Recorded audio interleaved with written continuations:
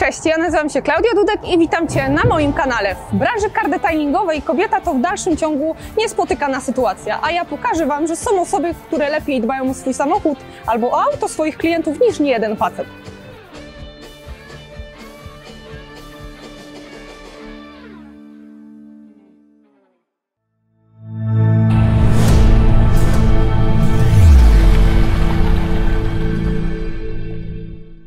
Cześć, witajcie w kolejnym odcinku Kobiety Detailingu. Dzisiejszym moim gościem jest Katarzyna Olszewska ze studia Olszewska Detailing. Dzień dobry, Kasia. Dzień dobry. Ile jechałaś? Oj, kilka godzin było, może lepiej w set kilometrach. I jeszcze do późna pracowałaś, bo mi napisali, że kurde, 22 ostatnio wczoraj ale wyjechało. jesteś kobita, taka wiecie, taka kobita. Kasieńka, powiedz mi, jak zaczęła się Twoja kariera w detailingu? O rany, ciężko powiedzieć, że mm, może to kariera chyba zbyt duże słowo. Kariera, kariera. Ja bym pozostała raczej przy słowie pasja i niech to tak będzie całe życie. Kariera to już y, chyba trochę za duże. E, Jeżeli chodzi o moją całą pasję, to chyba y, sama nie wiem. Właściwie kiedyś zaczęło się to od motocykli i przerodziło się to w delikatne polerowanie jakichś małych elementów. Natomiast ja, szczerze powiedziawszy, to nie wiedziałam, że zostanę detailerką i że będę po dziś dzień robić to, co robię. A właściwie zakochałam się w tym. Ale gdzieś to zobaczyłaś, u kogoś zobaczyłaś, widziałaś to w internecie. Y, Ciekawi mnie, wiesz, jak to wszystko się potoczyło, no bo motocykle motocyklami, ale jednak no, nasza branża i nasza praca to jest zupełnie co innego. Dokładnie tak. Ogólnie zaczęło się od y, polerowania no, prawie 4-kilową makitą. Yy, jakiś łódek, łódeczek, takich y, elementów, gdzie nie było właściwie jakichś nie wiadomo jakich past. Wtedy były dwie pasty dostępne na rynku.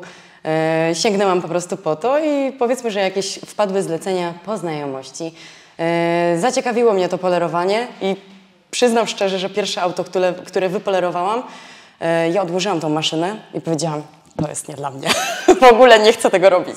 Ale że jestem kobieta, jaka jestem, no to się uparłam strasznie i powiedziałam, no nie, muszę jeszcze raz spróbować. No i w sumie trening czyni mistrza. E, Jak sobie zaczęłam trenować z tą maszyną, potem oczywiście zaczęły się pojawiać e, jakieś fajniejsze, czy to gąbki, czy to maszyny, gdzieś coś dostępne, gdzieś coś na stacjach, jakieś woski. No i zaczęło mnie to tak e, interesować, że w sumie czemu nie? No i firmę w sumie prowadzę od dwa- 2015 roku, więc już kawałek Szmat czasu, czasu, jest, no. tak. Przerobiłam tego. Czyli nie pracowałaś u nikogo, Nie. od razu rzuciłaś się na głęboką wodę i otworzyłaś swoje. Tak. Ciężko było? Pierwszy rok e, pamiętam, że był. mm, ja zaczynałam stricte od prań, od takich e, drobniejszych rzeczy. Drugi rok już weszłam w skóry, więc e, to był chyba taki duży przełom, że rzeczywiście te prania poszły w odstawkę i prania były dodatkiem do rzeczy, które wykonuję w sumie po dziś dzień. Więc rozrosło się to. Jesteś piękną kobietą, no bo jesteś piękną kobietą. Bardzo dziękuję. Y, Jak odbierali cię klienci? Bo to jest, Ojej. wiesz, takie, o Boże, kobieta, tak? Y, Zdarza się, że do dzisiaj jeszcze jak wchodzą do warsztatu, mm, jest takie, a, bo myśleliśmy, że w sumie pani tylko robi zdjęcia, a ja tak, z tą maszyną, nie, no nie. Y, Zdarza się, że jeszcze ktoś jest zdziwiony, ale większość ludzi już jest przyzwyczajona, że jest tam Kasia na włókienniczej i ona po prostu tam poleruje samochody i naprawia skóry, koniec. Jesteś w firmie y, jedną osobą, czyli ty jako właściciel jednoosobowa firma, czy masz ludzi pod sobą? Inaczej, nie powiedziałabym, że ludzi. Zdarzają się uczniowie ze szkół, zdarzają się osoby, które przychodzą się podszkolić, zdarzają się ludzie, którzy e, chcą na przykład się zachłysnąć, zobaczyć jak to właściwie, o co tutaj chodzi. I okazuje się, że po 8 godzinach mówią, że odkryli nowe mięśnie w barkach, bo to nie jest takie proste, jak się wydaje. I rezygnują, czy zostają? Nie zawsze. Yy, myślę, że po pierwszym dniu, na przykład jak ktoś przychodzi na takie yy, przeszkolenie, to po pierwszym dniu widać, czy rzeczywiście ktoś się nadaje, czy nie. Ale yy, nie powiem, żebym się nie pomyliła, bo jak sama się pomyliłam przy sobie, mówiąc, że ja się kompletnie do tego nie nadaję, a okazało się, że działam do dzisiaj. Jest taki szok, jak przychodzi taki uczeń do ciebie, o kurde, szefowa, mam mieć szefową, bo to jednak, wiesz, branża e, jest tak, że ta branża jest dla mężczyzn. My dalej, kobiety, jesteśmy gdzieś tam niestety odludkami, jesteśmy jakimiś dziwadłami, że tak powiem. E, I właśnie jestem ciekawa, jak ci e, uczniowie twoi, że tak nazwę, reagują, jak widzą szefową. Eee, powiem wprost, różnie. Czasem bywa tak, że mm, no, na przykład jeżeli to są y, uczniowie ze szkół średnich, y, czy też y, techników, no to wygląda to następująco, że jak przychodzą, no to rzeczywiście, no nie no, bo jak ty trzymasz tą maszynę, to wygląda to takie proste. No ale to nie jest do końca takie łatwe. Jak po prostu mm, czy wkręcamy maszynę, czy ją mamy potrzymać jednak kilka godzin, okazuje się, że to nie jest takie hop. No i po kilku godzinach zmieniają już tą, ten pogląd. Aczkolwiek y, zdarzały się sytuacje, że rzeczywiście było takie lekkie kozakowanie. No i w sumie ja już wiem, że y, ciężko będzie prze, przetłumaczyć tej osobie. No ale to nie mamy na to wpływu, no cóż. Czy spotkałaś się kiedyś z nieprzyjemnymi sytuacjami? Tak, oczywiście, że tak. A powiesz coś więcej? Ojej. Mm, Nieprzyjemna sytuacja. mm, Pamiętam doskonale jedno z cięższych zleceń, które wykonywałam, to było właśnie zlecenie w praniu, to było w pierwszym roku. I chyba tych większych sytuacji fatum e, zdarzyło się właśnie tego pierwszego roku, gdzie uważam, że takie mm, wejście jako szary żuczek, y, po prostu dreptanie po tym świecie nie należy do przyjemnych, bo trzeba troszeczkę się przebijać, y, troszeczkę porozpychać, aczkolwiek też trzeba mieć na to na pewno jakiś sposób, żeby to miało swoje ramy, żeby to było smaczne i po prostu, żeby to wszystko sz- szło e, tak, jak powinno, żeby to nie przekraczało żadnych granic. Natomiast z tymi granicami moich klientów, no to niestety nie było fajnie, e, kiedy naprawdę, pamiętam doskonale, robiłam e, pranie Pajero, I było to e, naprawdę bardzo ciężkie zlecenie. Tam z tyłu było siano powtykane po prostu wszędzie. To było samochód, który ja się śmiałam, że woził chyba konie w środku, gdzie on by się po prostu fizycznie tam nie zmieścił.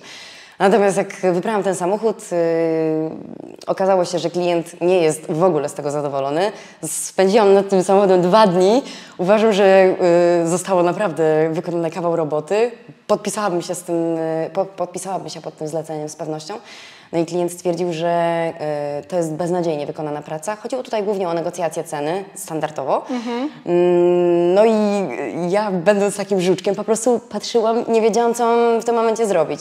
Natomiast to, co zrobił ten pan, no niestety nie należy do fajnych rzeczy, bo ja zapytałam wprost, z czego pan jest niezadowolony? A on odpowiedział mi, to już pani mówię, otworzył bagażnik, wyciągnął koło zapasowe, wyciągnął włos i po prostu go rzucił. Więc no to było takie hamstwo ponad hamstwo, ale Masakra. co zrobić? Nie przyjeżdża ten pan do dnia dzisiejszego, mam. Absolutnie. Ja swój warsztat y, wcześniej prowadziłam w Grudziądzu, więc to też y, nie chcę kategoryzować, ale zupełnie inna klientela. Jeżeli chodzi o klientów y, moich trójmiejskich, pozdrawiam serdecznie. Czy z każdej takiej sytuacji wyciągasz wnioski i jakieś lekcje? Dążysz Tak. do tego, żeby być lepszą? Mm, zażartuję sobie, wyciągam włoski. E, Śmieję się dzisiaj z tego, serio. Mm, Nie ma to dla mnie problemu. To nie jest tak.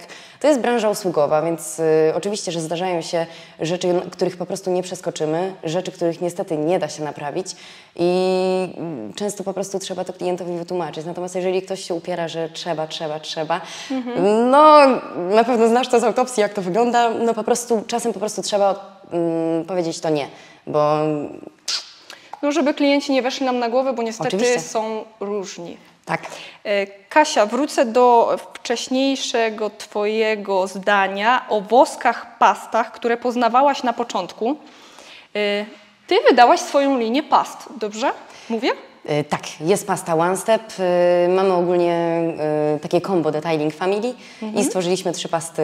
Jedna jest cuttingowa, finiszowa i jedna pasta One Step. I pasta One Step właśnie należy pod, do mnie. Czy one są już w sprzedaży? Mm, One się pojawią w sprzedaży, natomiast musimy kilka rzeczy dopracować, powiedzmy, że papierkowych, y, ale tak, niebawem będą w sklepach i będzie można je kupić. A skąd w ogóle pomysł u Ciebie na stworzenie własnej pasty? E, Chyba taki niedosyt, e, niedosyt czegoś, co chciałabym mieć e, stricte swojego. Jeżeli chodzi o te pasty, to jest to małe spełnienie marzeń i pasty pastami, ale również są pady polerskie, więc one też będą e, w sprzedaży. No i przede wszystkim e, coś zupełnie innowacyjnego z tego względu, że one są, mm, te pady są różowe. Czyli kobiece, piękne, czegoś, czego nie ma. W kobietach siła i myślę, że coraz więcej kobiet w branży autodetailingu się pojawia, nie tylko na polskim rynku, ale też i zagranicznym. To jest piękne. Ja się cieszę, że tak jest i obserwuję, czy to na mediach społecznościowych, e, czy tutaj osoby, które się nawet pojawiają właśnie i w szkołach. Mm, Ja sama doskonale pamiętam, mm, powiedzmy, że z nudów y, ukończyłam sobie technika mechanika i też byłam jedyną kobietą, która działała w tej branży. Pamiętam do dzisiaj, jak dźwigałam y, mm, koło do y, poloneza na egzaminie, no to nie ukrywam, że ci mężczyźni rzeczywiście robili duże oczy, że w ogóle jak to, no kobieta. Kobieta, tak. no A tu można było posmykać w ogrodniczkach. Mm, Co byś chciała powiedzieć kobietom, które chciałyby odnieść sukces? Jaką byś dała radę? Czy, czy chciałabyś coś powiedzieć, żeby je pchnąć do tego, żeby one działały? E, oczywiście, iść po swoje, nie przejmować się hejtem, nie przejmować się tym wszystkim, co jest teraz, mm, nie wiem, takie nieprzy, nieprzyjemne. E, robić swoje, działać w tym, w tym, co się lubi. Niekoniecznie, czy to jest branża autodetailingu, czy to jest e, obojętnie, czy to jest branża biznesu. Uważam, że w kobietach jest siła. Po prostu mamy swoje, dużo widzimy i jesteśmy w stanie naprawdę przenosić góry. Y, Konkurencja jest dla ciebie? Konkurencja jest dla mnie wyzwaniem i nigdy w życiu nie powiem, że to jest coś nie do przeskoczenia. Uważam, że z konkurencją można się przyjaźnić. Yy, Również działam tak na Trójmieście, że działamy sobie i sobie pomagamy.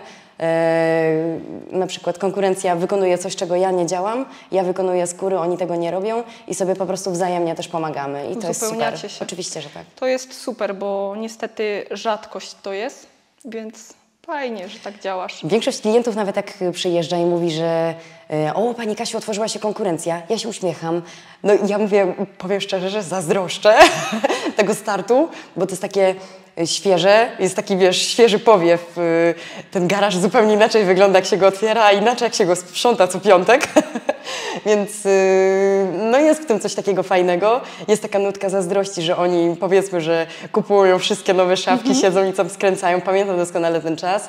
Yy, oczywiście wiadomo, że to jest, to jest naprawdę super, aczkolwiek naprawdę podziwiam, że otwierają w tych czasach, bo czasy nie, nie, są, no, są lada wyzwaniem. Zgadza Tym bardziej dla małych mikroprzedsiębiorstw i małych biznesów, gdzie rzeczywiście po pierwsze tak, konkurencja jest duża, no i rzeczywiście trochę się trzeba łokciami poprzepychać w tych czasach, bo jak yy, powiedzmy, że w 2015 roku otwierałam firmę, to no to tak nie było jakoś za wiele tych firm. Były, oczywiście, że były, aczkolwiek myślę, że chyba wszyscy po prostu gdzieś e, doszukiwali się większości rzeczy na, na forach internetowych, na e, mediach społecznościowych, wyszukując e, typowo mm, jakieś stricte detailingowe zwroty. Jak wybrać tapicerkę? Co to jest bonetowanie? I tak to wyglądało.